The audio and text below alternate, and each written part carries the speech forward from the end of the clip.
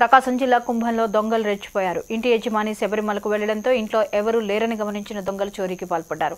నాలుగు తులాల బంగారు నలభై వేల నగదు ఎత్తుకెళ్ళారని బాధితురాలు గురవమ్మ తెలిపారు. ఈ ఘటనపై కేసు నమోదు చేసిన పోలీసులు దర్యాప్తు చేస్తున్నారు.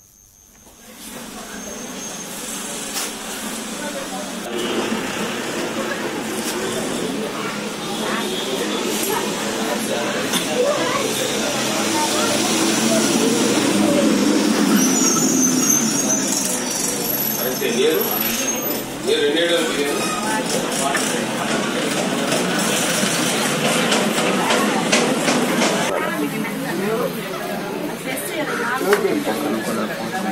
దండ